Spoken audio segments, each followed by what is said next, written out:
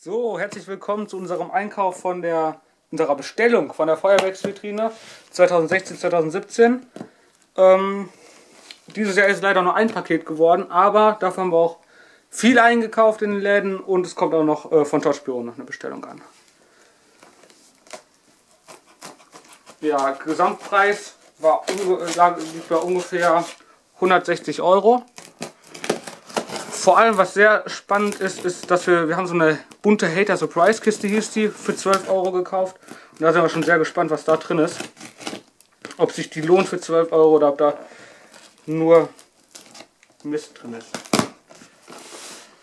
So, andere Seite noch.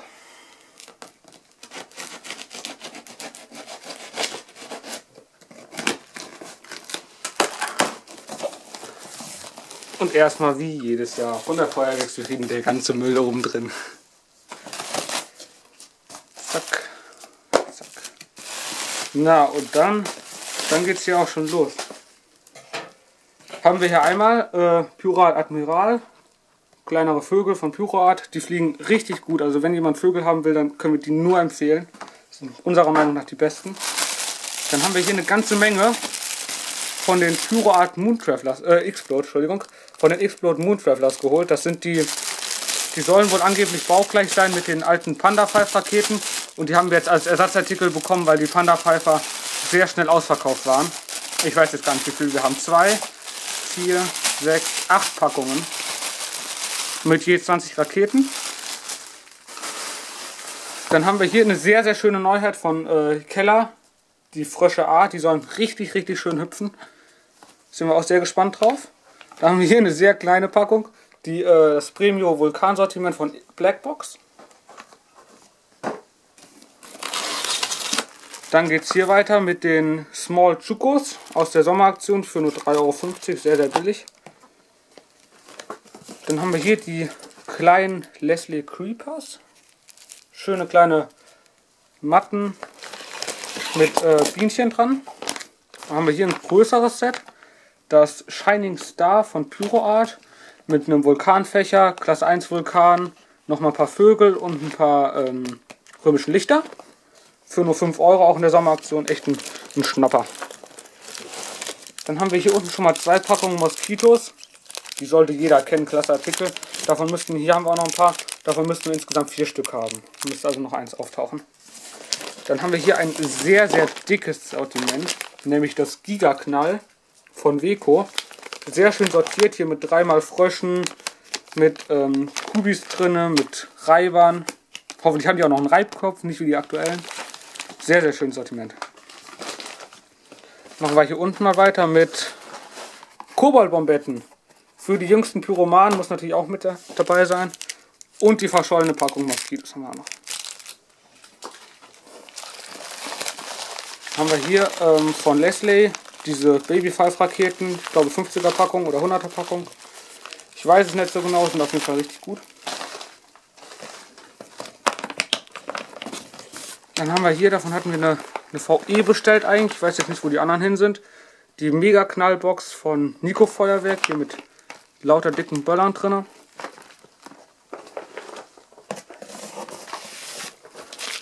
Das sieht verdächtig nach dem Gratisartikel aus. Und zwar müssten das von Deko sein, die Dragon Star heißen die, nein, Dragon Rocket, Rockets einfach nur. Eine hier auch schon ohne Köpfchen, aber egal. Geschenkt ist geschenkt, ne? Und dann haben wir hier noch Diabolo JR2, die dürfen natürlich auch nicht fehlen, von Jorge. Haben wir hier noch ein dickes Sortiment, dickes Raketenset, das XP12 von Pyrat mit mit zwölf dicken Kugelkopfraketen und bis zu 90 Meter Steighöhe, ganz sicher nicht. Und dann kommen wir jetzt hier zu dem spannenden Teil. Und zwar haben wir hier einmal die Hater Surprise Kiste. Einmal die Lagertourkiste Nummer 4 für 30 Euro und die Lagertourkiste 3 für 25 Euro. Fangen wir einfach mit der Lagertourkiste 3 an. Dafür müssen wir eben noch mal das Messer haben. Yep.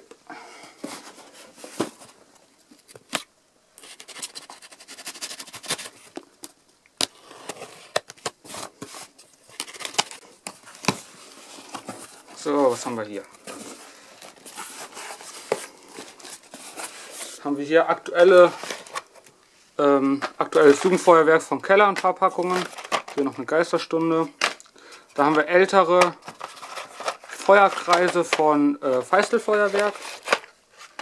Wo wir gerade bei Feistel sind, davon haben wir auch noch zweimal die Trecken, Trecken die Dragonbanger Mini-Knaller und ältere Komet Knallfrösche mit, die müssen noch mit grauer Lunte sein, sieht man hier gerade nicht.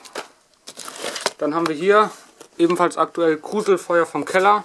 Passen dazu auch noch eine Packung Pyrowirbel und Feuerkreisel.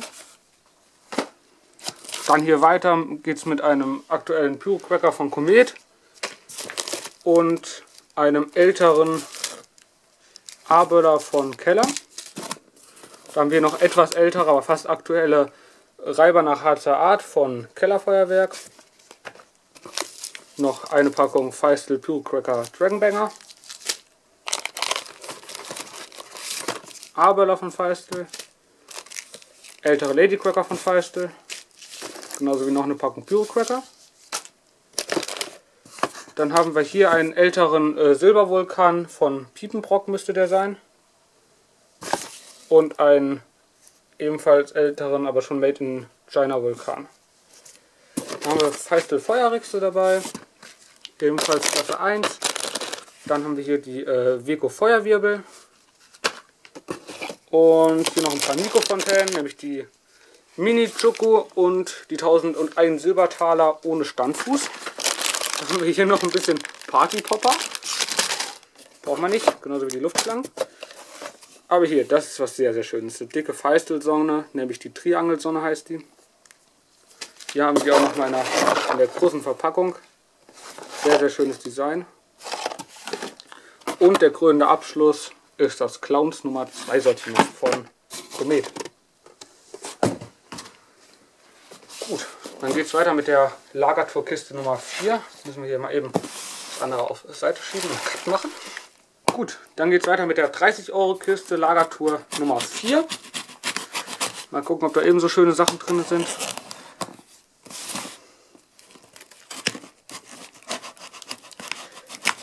Etwas enttäuschend, dass da so viel Klasse 1 drin ist. Das ja, besteht ja fast ausschließlich aus Klasse 1. Das ist ein bisschen schade. Aber hier fangen wir auch an mit ebenfalls Dragonbanger Packet Cracker Matte. Haben wir hier aktuelles Geistertanz vom Keller, beziehungsweise mit dem Pinselstrich-Logo. Ebenfalls wie auch in dem anderen aktuell Pyrocracker von Komet. Dann wieder hier diese drei Packungen aktuelles Keller Klasse 1 Feuerwerk. Blitz und upsala, Blitz und Donner von Komet, die sind echt schön. Sind äh, Blinker in weiß und aber auch in rot. Sehr, sehr schön haben wir ebenfalls einen Silbervulkan von Piepenbrock. Der ist noch richtig, richtig schwer. Der ist bestimmt noch richtig gut. Da haben wir äh, Tigerhead Logo, Packet ähm, Lady Cracker von Feistel, ältere Dragonbanger, äh, Packet Cracker, hier auch nochmal eine Packung. Also insgesamt haben wir dann davon drei Stück. Dann haben wir hier zwei Packungen A-Böller, zwei Packungen Pyrocracker und eine Packung B-Böller. Dann haben wir hier ebenfalls wieder die Komet Frösche und wie auch im letzten Set wieder diese drei aktuellen Jugendfeuerwerkspackungen hier von Keller. Wieder eine 1001 Silbertaler und Standfuß, die auch hier schon sehr, sehr zerdrückt ist. Genauso wie, nicht, oh, sogar zwei Mini-Schokos. Und dann noch hier die aktuellen Reibkopfknaller von Pyrat, die aber auch sehr, sehr gut sind. Dann haben wir hier noch ältere Nachtfalter, nämlich von Kometfeuerwerk. Die sind auch sehr schön aufsteigende Klasse 1 ähm, Artikel, die ja auch leider nach 2017 verboten sein werden. Haben wir hier noch richtig schön dicke Würste, ziemlich aktuelle äh, Keller Super 2 und ebenfalls wieder die beiden Sonnen und Clowns Nummer 3. Gut, dann war es das auch von der von der Kiste. Und dann können wir weitermachen mit dem im Prinzip spannendsten Päckchen, nämlich der Surprise-Kiste, wo man ja noch gar nicht weiß, was drin ist. Hat 12 Euro gekostet. Mal gucken, ob sich der Preis gelohnt hat. Ui.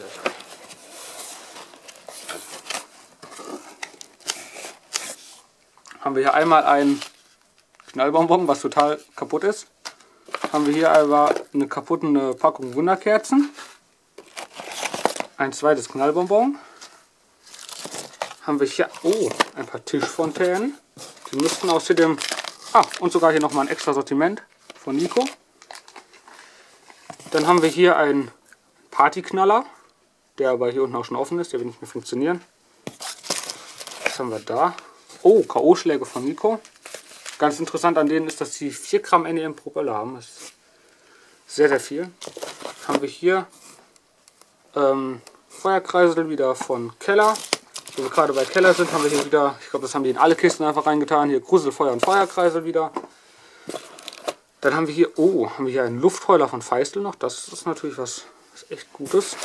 Haben wir hier eine vier Elemente Fontäne von Nico. Ein paar Einzelböller. Sieht nach aktueller Ware aus. Obwohl das hier ist ein bisschen, bisschen was älteres. Vorne noch gestoppt. D-Böller von Nico ebenfalls. Oh, Böller.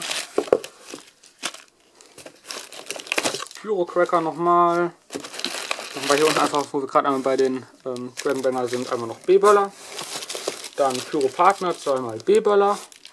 Oh, und hier haben wir noch mehr. Das ist echt, das ist echt krass. Haben wir noch mehr äh, Luftheuler von Feistel. Eine davon hat tatsächlich auch eine Zündschnur, die andere nicht. Dann haben wir hier noch eine Eisfontäne. Ein Klasse 1 Sortiment, das ist echt ganz schön. Halloween Party von Komet. Haben hier einen sehr, sehr dicken ähm, Fox müsste das sein, ne? Kubi. Wo steht's denn? Pyrat. Pyrat ist es.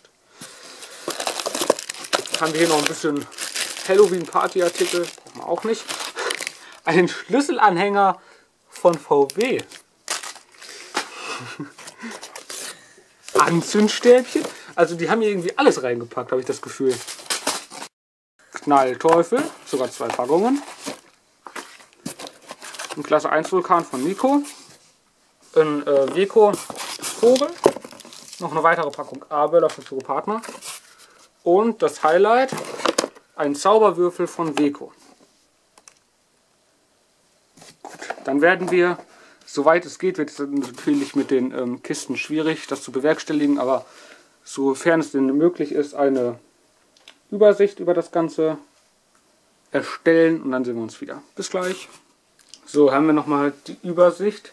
Und wir müssen mal sagen, dass wirklich von der Feuerwerksvitrine dieses Jahr eine richtig schwache Leistung. Also ich meine, hier zum Beispiel, das wurde nicht als Posten angegeben oder auch hier ist komplett, ist komplett hier auf der Seite einfach aufgerissen. Oh shit. Alles ist total versifft und so.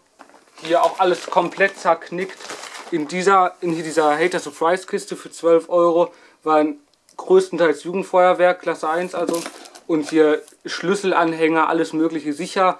Vielleicht, keine Ahnung, 6, 7 Euro wert. Das ist aber wirklich das, was sie sonst im Müll schmeißen würden. Hier davon, von den Knallboxen, haben wir eine komplette VE bestellt. Das ist nur eine Packung angekommen. Das haben wir auch so auf dem Lieferschein stehen. Das, das, die VE ist auch auf dem Lieferschein drauf. Haben wir hier auch komplett auseinandergenommen. Also wir werden uns auf jeden Fall überlegen, ob wir nochmal jemals bei der Feuerwerksvitrine bestellen, weil so geht das wirklich nicht.